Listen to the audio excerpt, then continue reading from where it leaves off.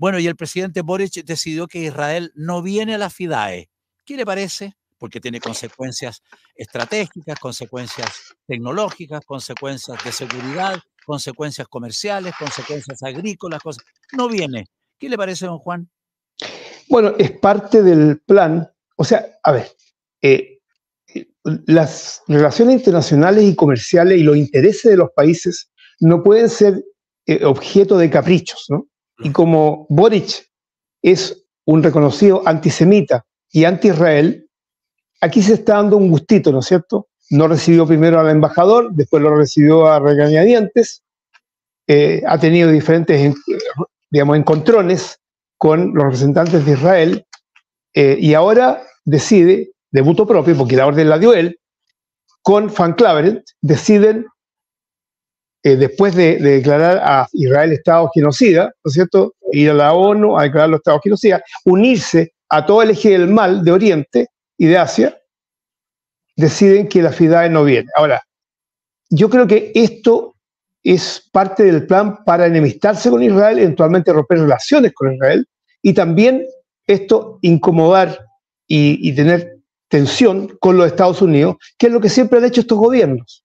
Todos estos gobiernos siempre tienen que tener un enemigo. Y ya tienen un enemigo que es Israel y ahora quieren tener también de enemigo Estados Unidos. Ahora, las consecuencias de, esto, de, poco menos que romper relaciones eh, diplomáticas y comerciales, mm. o sea, sería catastrófico. Gran parte de todo el equipamiento de las Fuerzas Armadas de Chile y Carabineros viene de Israel. Además de eso, si eso no fuera poco, todos los satélites en base a los cuales se manejan las comunicaciones eh, de Internet en Chile están manejados por empresas israelíes. O sea, bastaría que las empresas israelíes nos cotaran el servicio y nos quedaríamos sin Internet.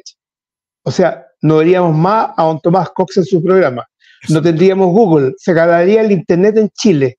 ¿Entienden lo que eso significa? O sea, eh, eh, esto es demencial.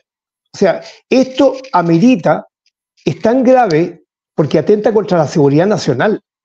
Nosotros tenemos tres países con los cuales tenemos fronteras y, y son países con los cuales siempre tuvimos, tenemos diferencias y eventualmente podemos tener conflictos. Entonces, nosotros necesitamos Fuerzas Armadas muy bien preparadas y equipadas. Y esto va justamente en contra. Fíjate que solo esto amerita una acusación constitucional, partiendo por la ministra de la Defensa, para eventualmente después llegar al presidente Olche.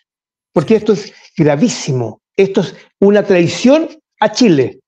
No, no, no, no te pueden desarmar de esta forma, porque no solamente va a producir problemas, podría producir, dependiendo de la actitud de Israel, podría producir problemas en el equipamiento civil, o sea, policial y, de Fuerzas Armadas, sino que eh, remedios, vacunas, eh, todo tipo de elementos eh, electrónicos, todo eso, porque Israel es un Estado muy poderoso. Y, don Juan, además, el mundo agrícola, además, cuánto intercambio, el, mundo hídrico. También. o sea, e, es, las plantas de tratamiento de aguas. Claro. O sea, nosotros necesitamos de Israel mucho más de lo que Israel necesita de nosotros. Obvio, obvio, absolutamente, absolutamente. Es que esto es demencial, porque ya no, esto ya no es estupidez. esto ya es francamente sabotaje a la nación. Esto es gravísimo y si tú lo unes con el problema político que tenemos con el asesinato vil de un asilado político en Chile. Esto está extremadamente grave y aparentemente ni Boric, ni la TOA, ni Van Claveren, que actúa como un zombie, se dan cuenta de lo que estamos metidos.